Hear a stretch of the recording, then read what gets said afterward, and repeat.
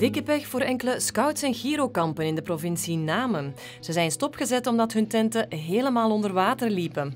Ook Kierans kampplaats in Saint-Aubin liep in geen tijd helemaal onder. Het beekje kwam hoger en hoger en in de mum van tijd uh, stond het beekje bijna gelijk met het kampterrein.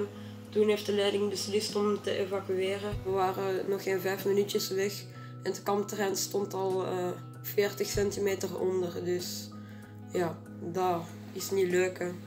Ook Eleonore en Isaac zagen hun kamp in het water vallen. Toen we zaterdag waren aangekomen, waren we er nog maar vier uur en toen kregen we slecht nieuws van de leiders dat ons kamp stopgezet moest worden. Ik voelde me echt zo bang van wat gaat er gebeuren, wat gaat er gebeuren. En toen kwamen we te horen dat het kamp moest gewoon geëvacueerd worden. En dat was echt gewoon niet fijn. Ik vind het heel jammer dat het Schierankamp niet is doorgegaan, maar het was wel echt heel hard aan het regenen, dus ik begrijp de leiding wel.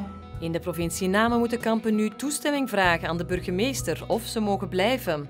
Roos heeft geluk, haar kamp mag wel blijven doorgaan. Het is hier echt ziek leuk en ik ben ook heel blij dat, uh, ja, hier, dat we hier geen regenoverlast hebben of last hebben van de regen. Want ja, bij andere kampen is dat wel het geval en het zou echt heel erg zijn als het kamp niet door kon gaan.